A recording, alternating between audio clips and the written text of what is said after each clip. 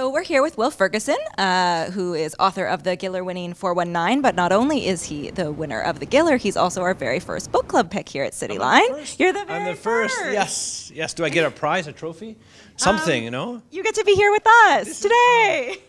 even a small trophy. You couldn't even give. You couldn't. Even I'll try to rustle you up something. Okay. so since Will is our very first book club pick, we thought we'd ask our book club members what questions they had for him about the book as we read along. So I've asked um, our staff members and our viewers, and they all have some questions for him. So we'll get right to them. So our first question is from our producer Carolyn, and she wants to know um, a bit about the inspiration for the book. She wants to know if you know someone who'd been scammed, or if the inspiration came from your inbox, or where the idea came from. No, actually, I was researching a previous book about con men in the 1930s, and then I came across a reference to 419.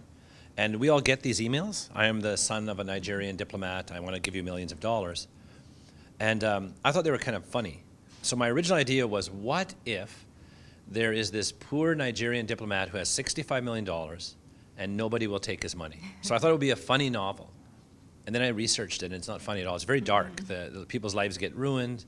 Uh, people commit suicide. They get murdered. Um, so the more I researched it, the story turned dark.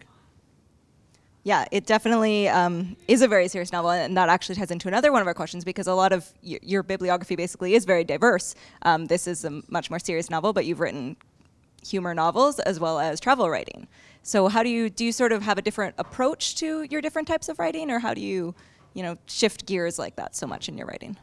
Yeah, well, I do. I write history and humor, but my first love is travel writing. And 419 is it's like a fictionalized travel book. I think there's a lot of travel in it.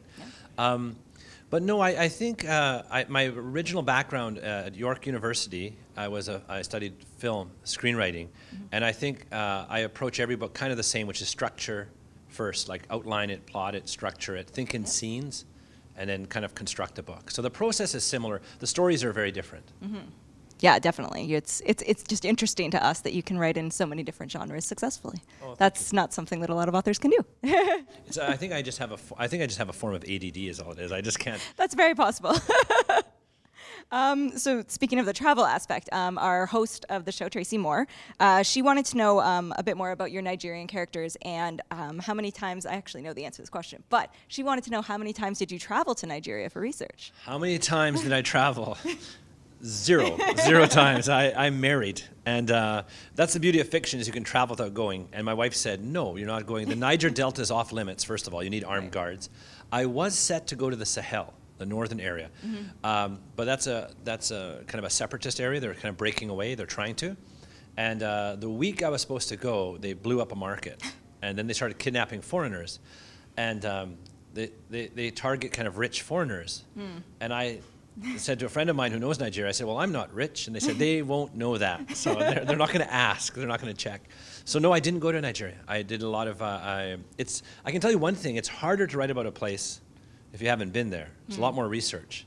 When I went to Northern Ireland, um, I went there. So I just I relied on my own observations. And when I went to Japan, so I, I hitchhiked across Japan and I walked across Northern Ireland. So naturally, when I looked at Nigeria, I wanted to go, but it's just too dangerous. Th- those areas that I was writing about. Other question we want to ask you. This one is from our viewers. Uh, one of our viewers wanted to know actually um, a bit about your characters. Um, you have a very diverse set of characters in your book, and you get inside all their heads. And some are in Nigeria, and some are here in Canada. Um, we wanted to know what character did you like writing the most, and conversely, what character did you find most difficult? I, I liked Nnamdi, uh, writing Nnamdi. I liked the character. I liked Igbo Joe, the truck driver. He was fun to write. Laura was the hardest character because I didn't want to take the easy way out and make her really warm and fuzzy. She's a bit. She's kind of this isolated, um, brittle person, and I wanted her to have this kind of strength. She has the strength of character to do something without even thinking about the consequences. And she has terrible consequences for what she does. So Laura was tough because it's a fine balance to make a character interesting but not sympathetic. It's, it's a hard balance. Yeah, definitely. Well, I think you struck it. Thanks. um, and I guess the last question we all want to know is what are you working on now?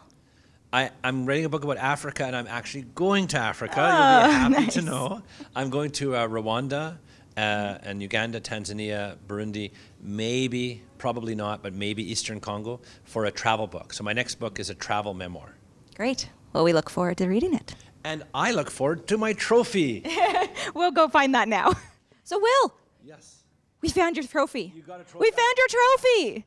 You know, because since Will travels so much um, and is going to be traveling for his upcoming novel, we thought, what better to bring along with him than a traveling gnome? Oh, so this is this is my trophy. It's your trophy. It doesn't look like something that was just on your desk. It definitely, definitely didn't come from a press kit. So this is this No. is the official Cityline uh, debut book club novel, Gnome. You got it. Excellent. Thank you so much. I'm touched. I'm really touched. Thank you, Will.